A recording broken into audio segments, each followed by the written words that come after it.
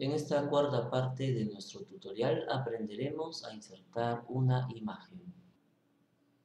Nos dirigimos ahora al botón Imagen ubicado en la parte superior del menú de herramientas y pulsamos sobre él.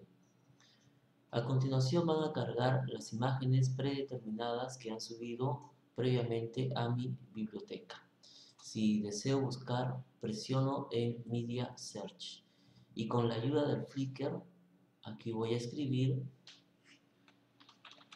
plantas del Perú y luego voy a pulsar con Enter para dar tiempo a que Flickr ubique alguna de las plantas oriundas del Perú. Así por ejemplo, si selecciono esta de aquí, doy una vista previa y observo que ha cargado la imagen le digo insertar imagen. Caso contrario, la cierro. También en lugar de poner plantas del Perú, puedo poner, por ejemplo,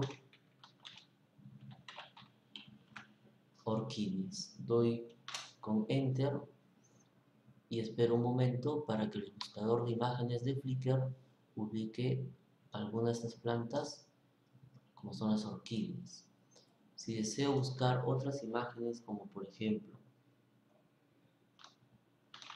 la planta de la quinoa, que es una planta alimenticia en el Perú, aquí observamos que cargan dos imágenes. Selecciono, espero que cargue en la vista previa y posteriormente le digo insertar imagen. Ha cargado la imagen y a continuación le digo insertar. Esta rápidamente se inserta en mi diapositiva y yo ahora voy a acomodarla para insertarla en este lugar. Y aquí le doy unos pequeños ajustes para que aparezca en este lugar. Observo que por defecto en mi línea de tiempo esta imagen va a durar desde el segundo número 7 hasta el número 20 si yo deseo modificar esta línea de tiempo, lo acorto y le digo que dure hasta el segundo número 5. Para comprobarlo, retrocedo esta flecha, lo pongo en 6 y a continuación pulso en el botón reproducir y observo que la imagen aparece tal como yo acabo de programarlo. Voy a insertar otras imágenes también para poder ir editando el slide. Aquí insertaré otra imagen sobre las plantas alimenticias y aquí mismo también lo haré. También procederé a darle en mi espacio del tiempo la duración aproximada de cada una de ellas. Bien, ya he establecido entonces tres imágenes.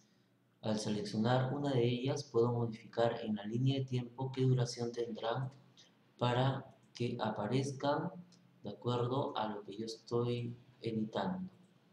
Entonces, procedo a editar cada una de ellas y en ese determinado tiempo aparecerán las imágenes de acuerdo a mi edición en la línea de tiempo.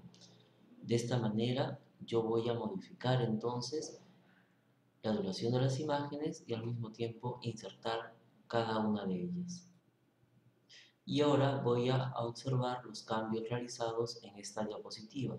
Pulso en vista previa y observo que he insertado texto, luego he insertado las imágenes y compruebo la duración de cada una de estas imágenes, las cuales puedo continuar editándolas.